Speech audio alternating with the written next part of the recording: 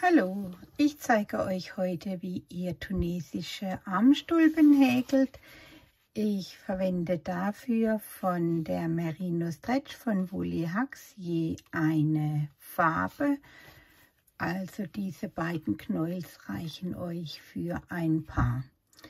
Die Wolle besteht zu 57% aus Polyacryl, 47% Wolle und 6% Polyester hat eine Lauflänge von 110 Meter auf 50 Gramm und hier verwende ich so eine Doppelhäkelnadel von Adi, die ihr fürs tunesische Häkeln in Runden benötigt.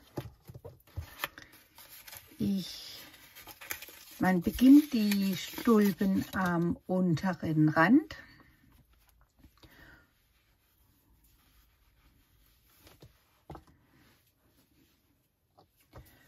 Und hier schlage ich zunächst eine Luftmaschenkette an. Also die erste Runde ist noch ganz einfach.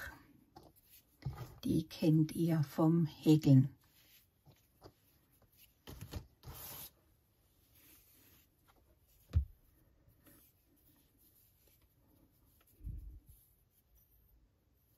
Sechsunddreißig Luftmaschen braucht ihr zwei, drei, vier und ihr seht, ich häkle sehr locker. Dann könnt ihr die Anschlagreihe, die Maschen dann auch besser auffassen. Sechs, sieben, acht, zehn.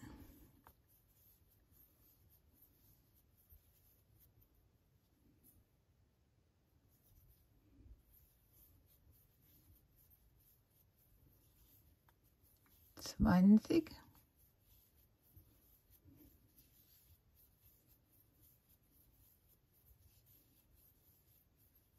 dreißig, zweiunddreißig, vierunddreißig, sechsunddreißig. So, jetzt müsst ihr aufpassen, dass ihr die Luftmaschenkette nicht verdreht.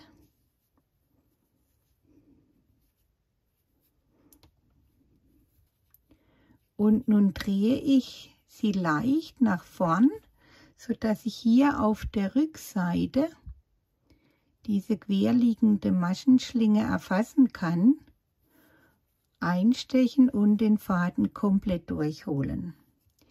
Die Schlinge auf der Nadel bildet nun meine erste Masche.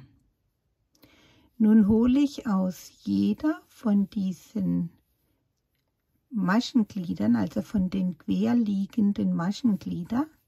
Aus jeder Luftmasche hole ich nun eine Masche heraus und lasse sie als Schlinge auf der Nadel liegen. Deshalb eben hier locker arbeiten beim Luftmaschenanschlag. Dann fällt euch das viel leichter und hier unten bildet sich eine schöne Kante. Jetzt habe ich 2, 4, 6, 8, 10, 11, 12, 13, 14, 15, 16, 17, 18. Jetzt habe ich die Hälfte und nun hole ich die zweite Farbe nach.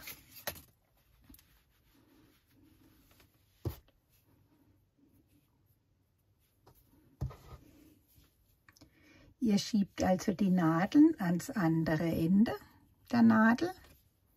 Deshalb braucht ihr eine Doppelhäkelnadel. Und jetzt den zwei, die zweite Farbe erfassen und durch eine Schlinge durch und dann steht es durch zwei.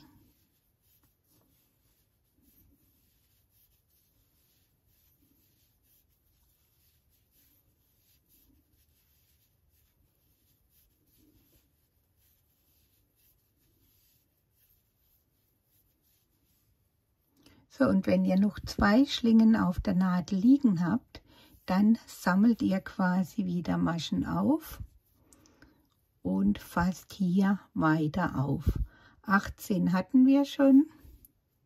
19, 20, 1, 2, 3, 4, 5, 6, 7, 8, 9, 10,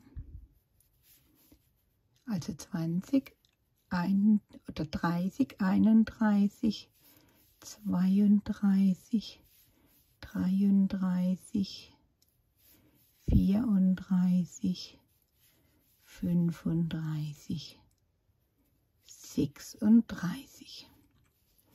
So, jetzt hole ich erst wieder den Faden nach.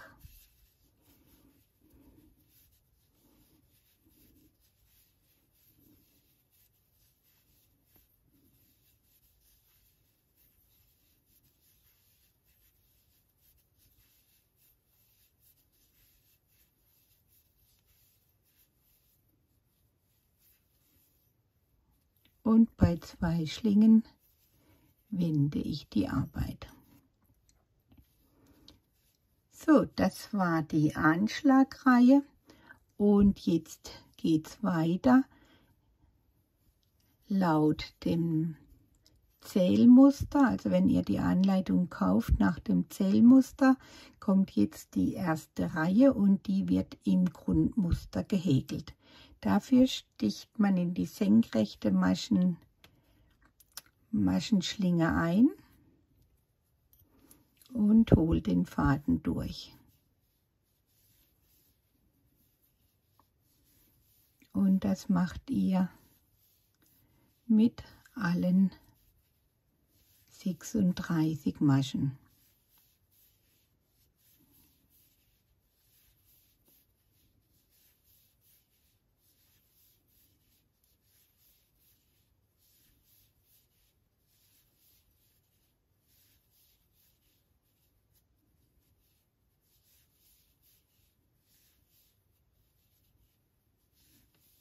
Wenn es dann hier um die Kurve anfängt zu spannen, dann holt ihr wieder den zweiten Faden nach. Dieses Nachholen des Fadens geschieht immer gleich. Einfach immer den Faden durch zwei Schlingen ziehen egal welches Muster ihr verwendet zum Sammeln der Maschen. Das Nachholen des Fadens passiert immer auf die gleiche Weise.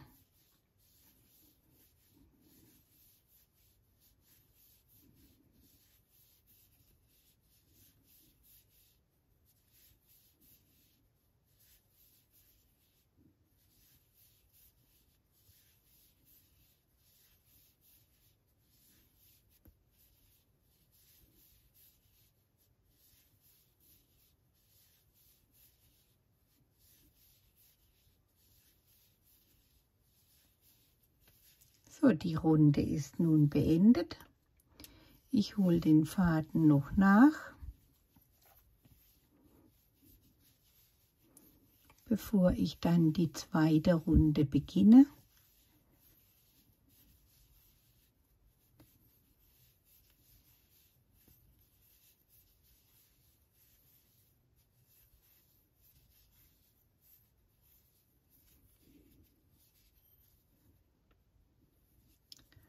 Und die zweite Runde, die wird im Reversstich gemacht.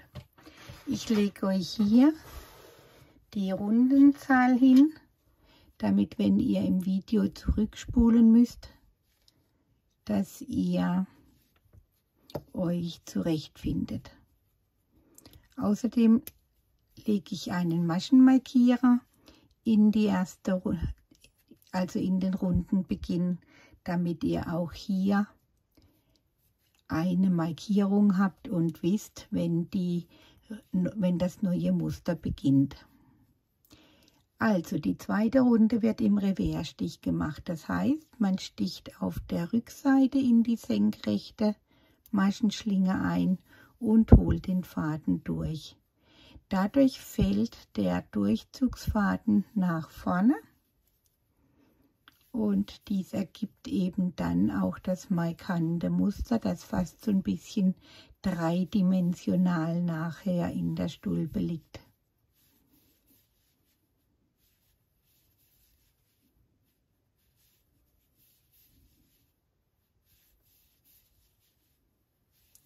Also das ist jetzt der Reversstich. Da wird eben auf der Rückseite eingestochen. Wichtig ist, dass ihr den Faden immer von unten kommend holt. Also nicht von oben, sondern von unten kommend. Sonst verschränkt ihr die Maschen, verdreht sie und dann wird die Stulpe zu eng. Und ihr seht, Faden nachholen passiert auf die gleiche Weise.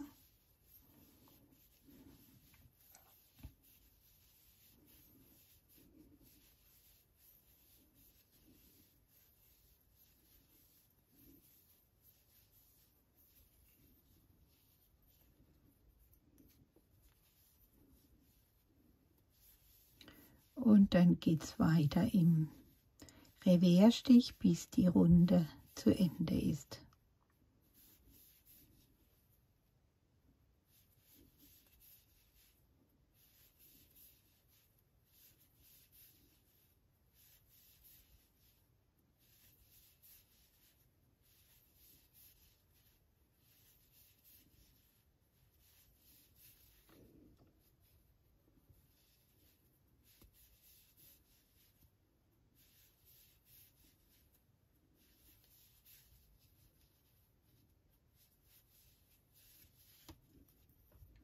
So, dann hole ich die, den Faden wieder nach, bevor ich dann mit der dritten Reihe beginne.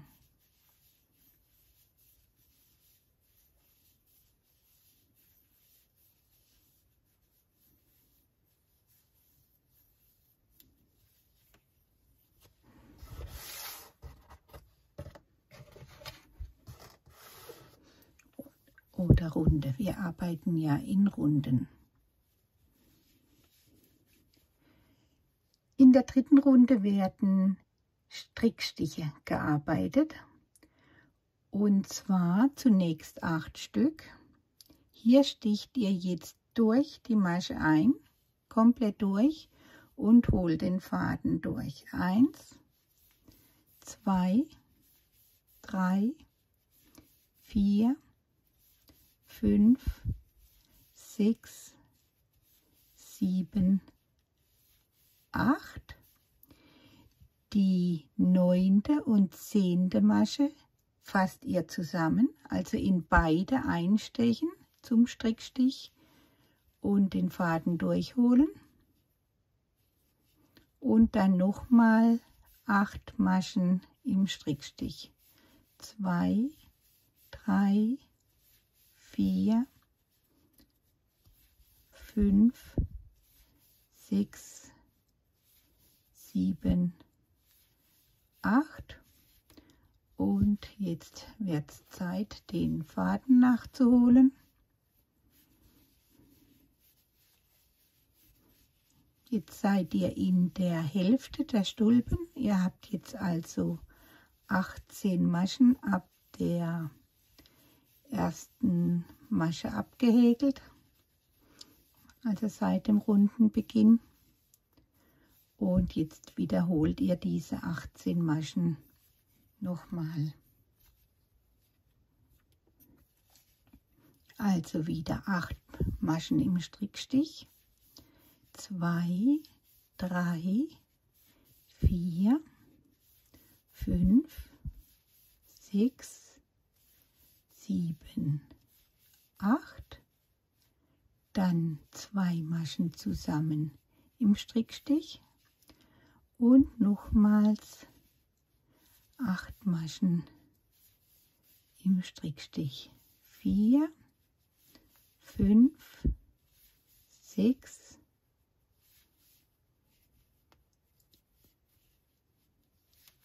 sieben, acht. Und ihr seht, wir sind beim runden Beginn und können jetzt den Faden nachholen.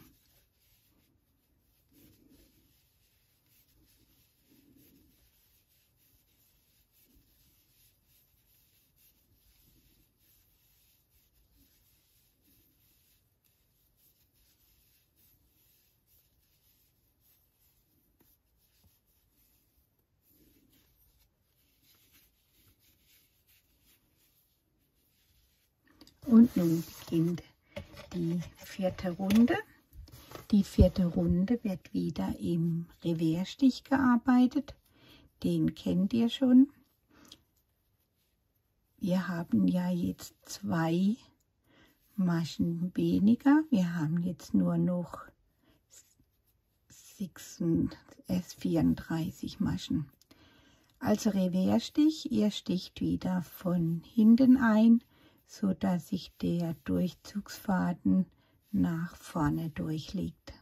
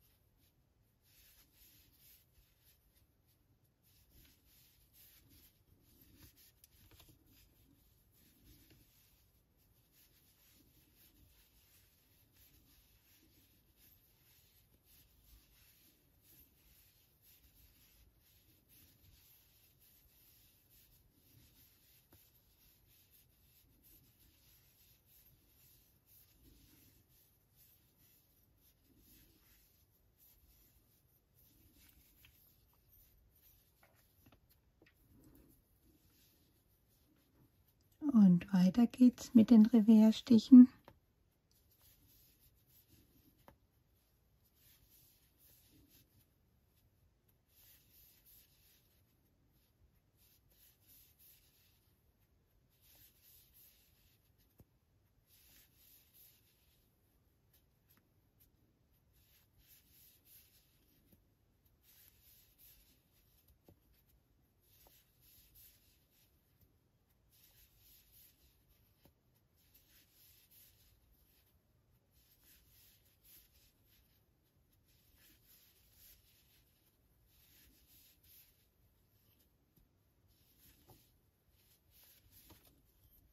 Und die Runde ist beendet. Und ich hole den Faden noch nach.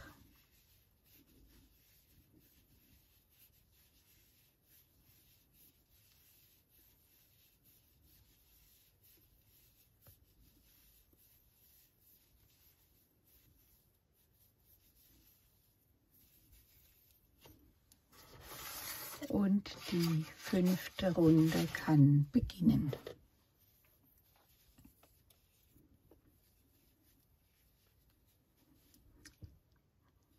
In der fünften Runde werden Strickstiche gearbeitet und auch wieder über alle Maschen. Das heißt, es passiert sonst nichts, als wie das ihr eben bei den Strickstichen durch die Maschen hindurch einstecht.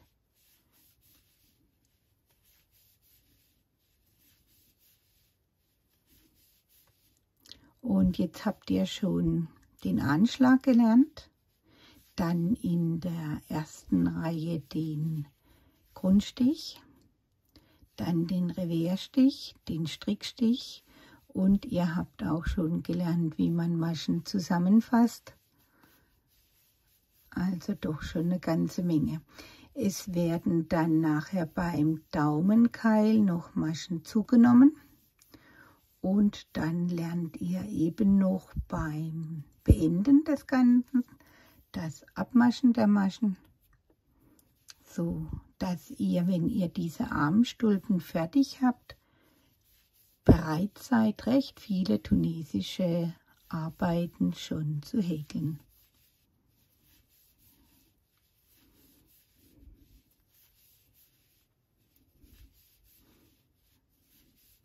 Bekommt ihr vielleicht schon eine kleine Ahnung, welche vielseitigen Möglichkeiten sich durch diese Technik ergeben und auch für was denn so eine Doppelhäkelnadel verwendet wird.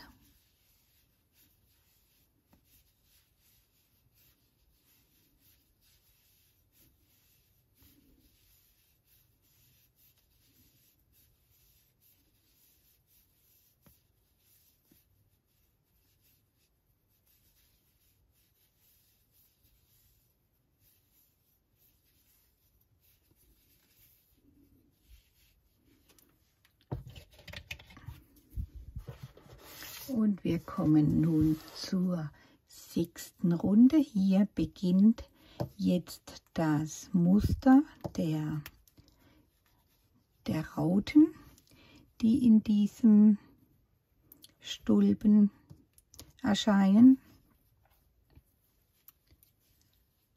Und wir werden in dieser Reihe auch wieder zwei Maschen abnehmen.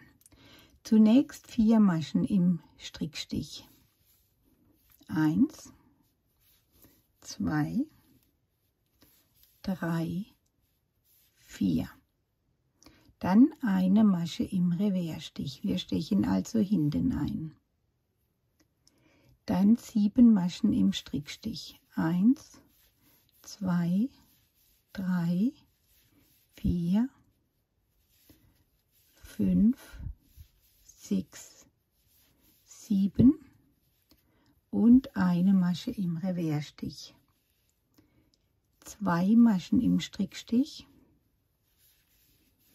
und zwei Maschen zusammen abmaschen. Also in beide Maschen zusammen einstechen zum Strickstich und den Faden durchholen. Jetzt habt ihr wieder die Hälfte der Maschen abgehäkelt jetzt zunächst den Faden nachholen.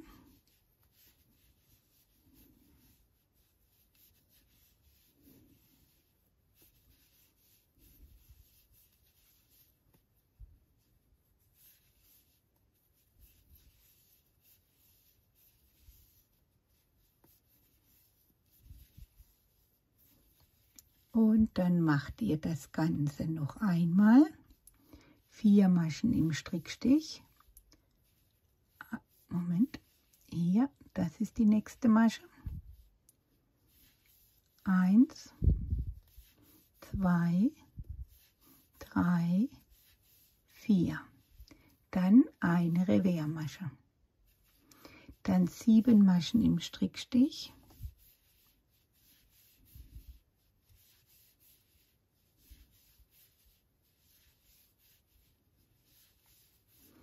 Eine Revermasche, zwei Maschen im Strickstich. Und die letzten zwei Maschen zusammen im Strickstich abmaschen.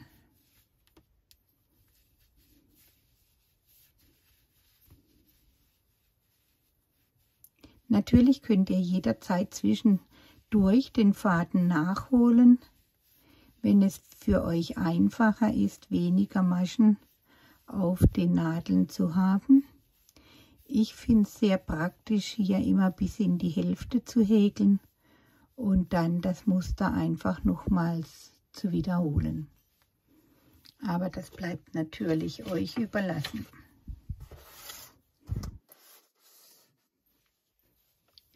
Siebte Runde. Ihr beginnt mit drei Maschen im Strickstich. Eine Masche Revers, eine Masche Strickstich, eine Masche Revers, fünf Maschen Strickstich,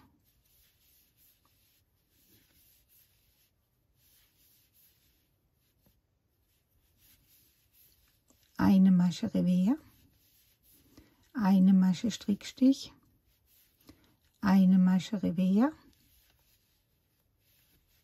und zwei Maschen im Strickstich.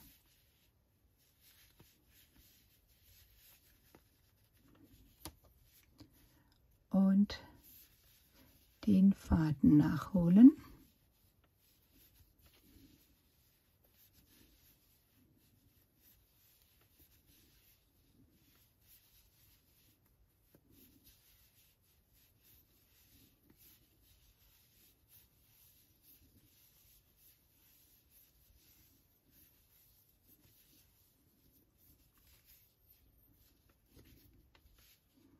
Hier bilden sich jetzt die Rauten. Und wir wiederholen das Ganze nochmal mit drei Maschen im Strickstich. Eine Revers, eine im Strickstich, eine Revers, fünf Maschen im Strickstich,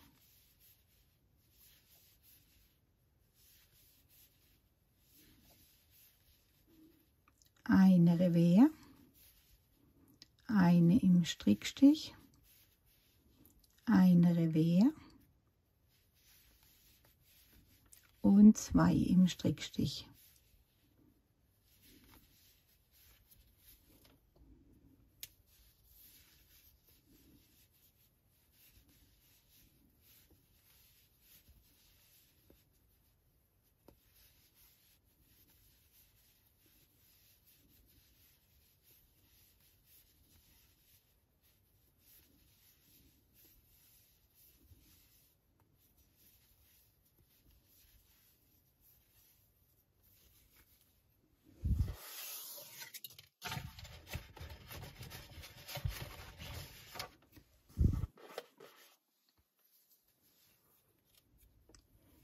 Die achte Runde beginnt mit zwei Maschen im Strickstich, eine Masche Revers, drei Maschen im Strickstich,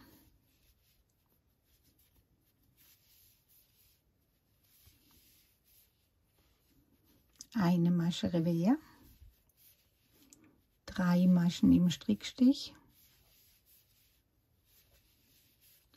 eine Masche Revers, drei Maschen im Strickstich.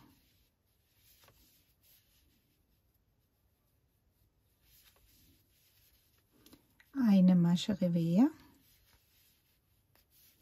und eine Masche im Strickstich. Dann ist wieder die Hälfte der Maschen abgearbeitet.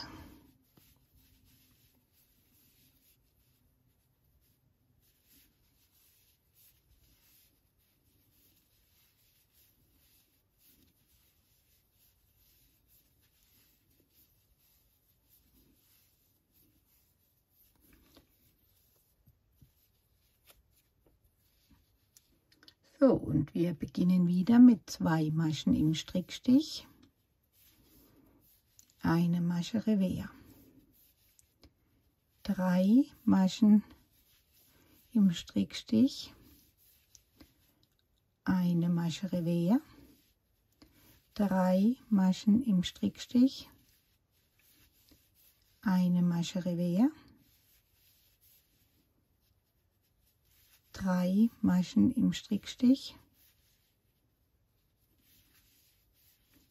eine Masche Revers,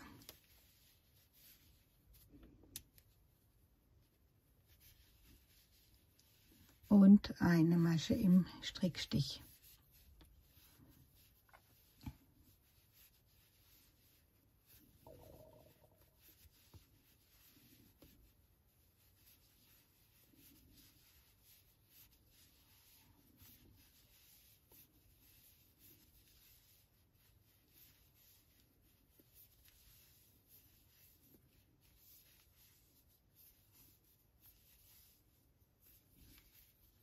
Und die achte Runde ist beendet. Ihr seht, man kommt ganz schön vorwärts mit, diesen, mit dieser Technik. Doch schon ein ganzes Stück geschafft. In der neunten Runde beginnt es mit einer Masche im Strickstich. Dann kommt der Reversstich und dann fünf Strickstichmaschen.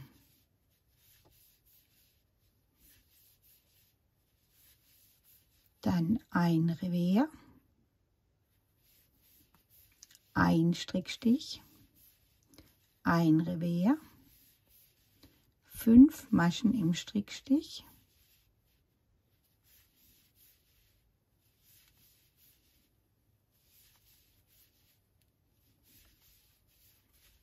ein Revier und fertig ist die Hälfte der neunten Runde.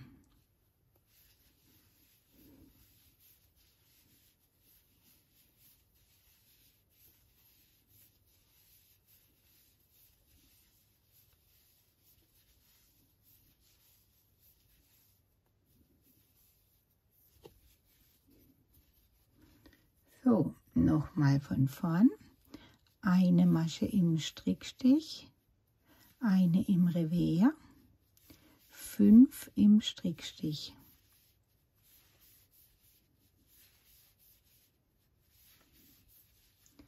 Eine im Revier, eine im Strickstich, eine im Revier, fünf im Strickstich.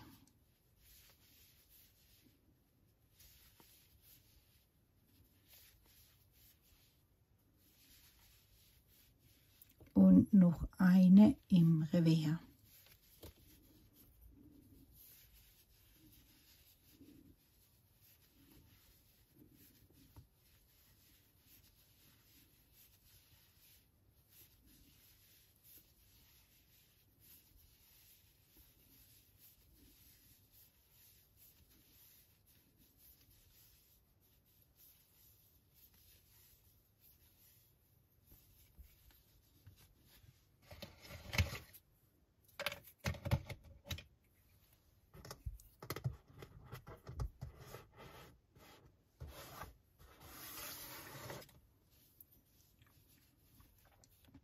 Jetzt kommt die zehnte Reihe Runde. Hier beginnt man mit einer Reviermasche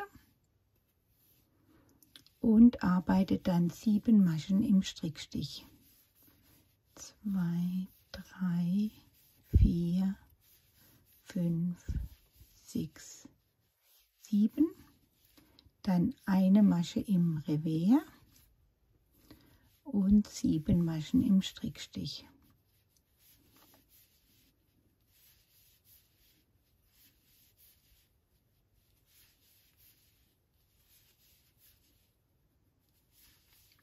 Sieben. Und dann ist die Hälfte der zehnten Runde geschafft.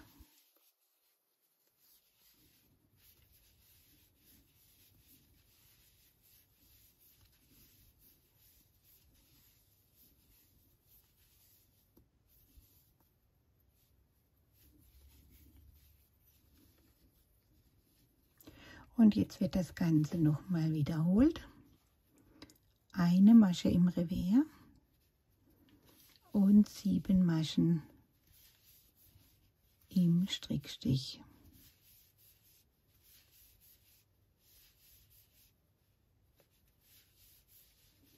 Eine im Revier und sieben Maschen im Strickstich.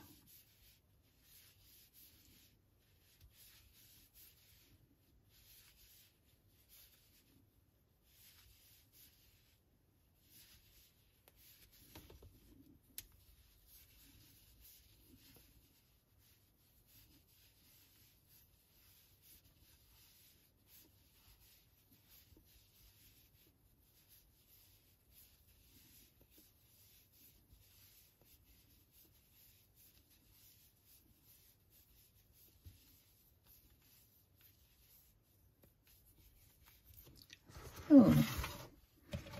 Und wir kommen zur elften Runde.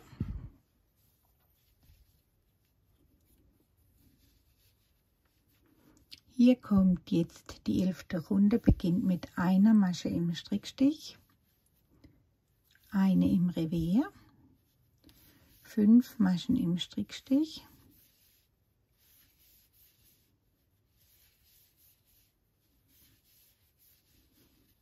eine im Revers, eine im Strickstich, eine im Revers, fünf Maschen im Strickstich,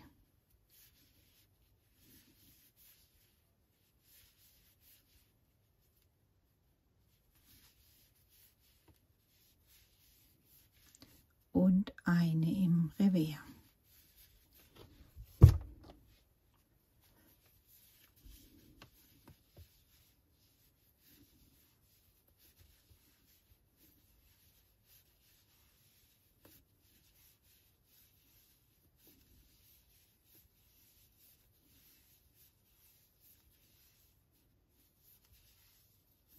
die schriftliche Anleitung zum Ganzen, wenn ihr das Zählmuster dazu benötigt, findet ihr unter dem Video. So, die zweite Hälfte der Runde wieder eine Masche im Strickstich, eine im Revers. Fünf Maschen im Strickstich. Eine im Revers eine im Strickstich, eine im Revers und fünf Maschen im Strickstich.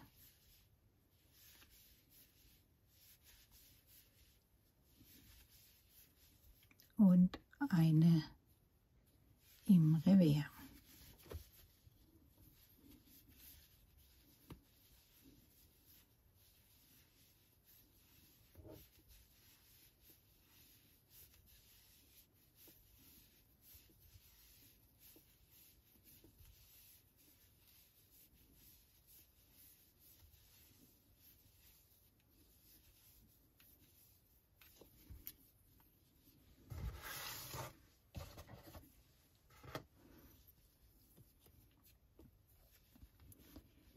Die zwölfte Runde beginnt mit zwei Maschen im Strickstich, eine im Revers, drei Maschen Strickstich, eine im Revers,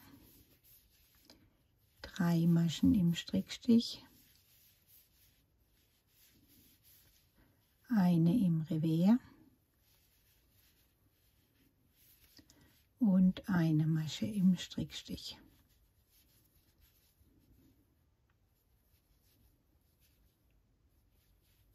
Drei Maschen im Strickstich, eine im Revers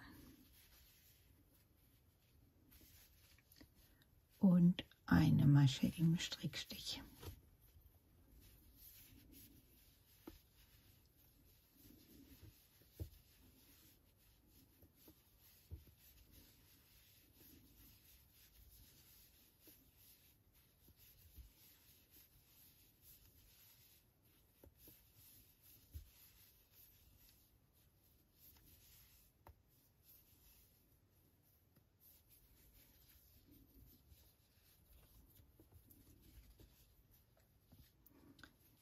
So, die zweite Hälfte wieder mit zwei Maschen im Strickstich, eine im Revers, drei Maschen im Strickstich, eine im Revers, drei Maschen Strick, eine Revers, drei Maschen Strick,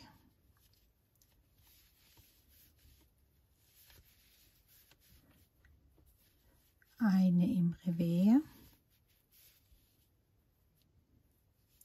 Und eine Masche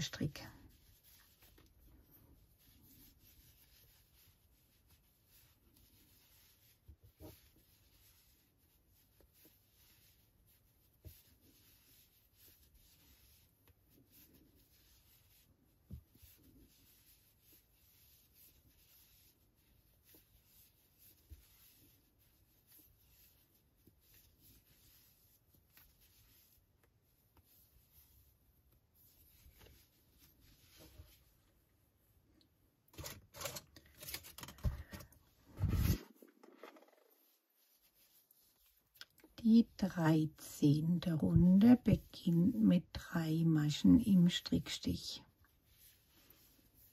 Eine im Revers, eine im Strickstich, eine im Revers,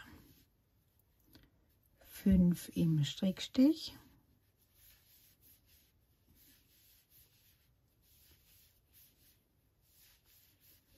eine im Revers, eine im Strickstich, eine im Revers und zwei im Strickstich.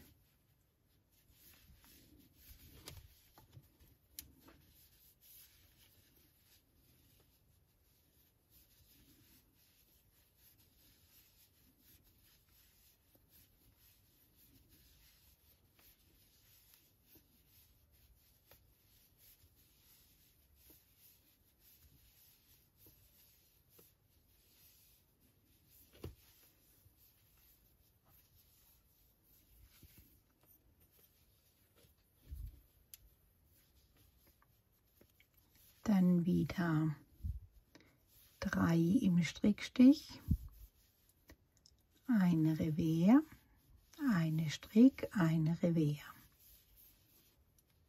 fünf im Strick,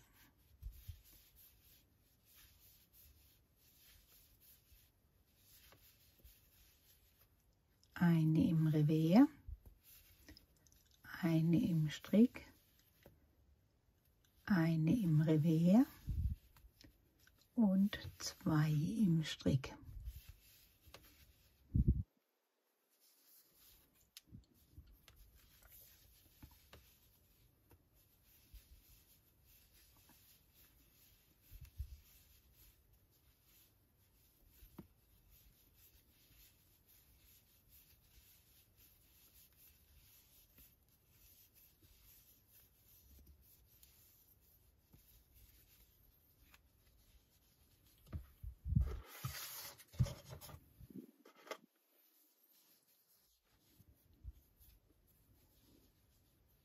Die 14. beginnt mit 4 im Strickstich, eine im Revers, 7 im Strickstich,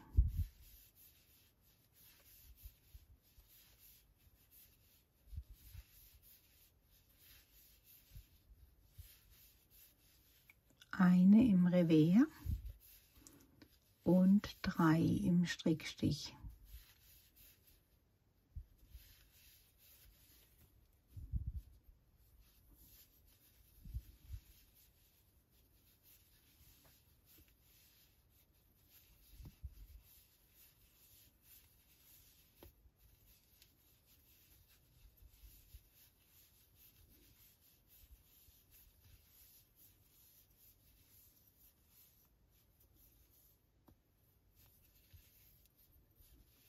Die zweite Hälfte genauso vier im Strickstich. Eine im Revers sieben im Strickstich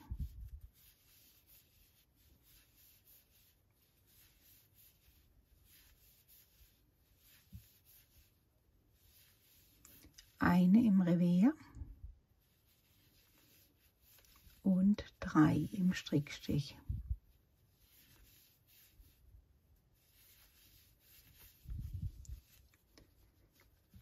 So,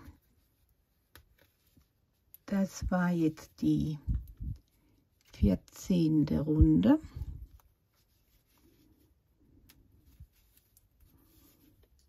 Ich hole jetzt dann den Faden noch nach. In der 15. Runde strickt ihr alle Maschen im Strickstich. In der 16. alle im Revers. In der 17. alle im Strickstich. In der 18. alle im Revers. In der 19. alle im Strickstich. Und dann treffen wir uns wieder zur 20. Runde weil dort beginnt dann der Daumenkeil im zweiten Teil.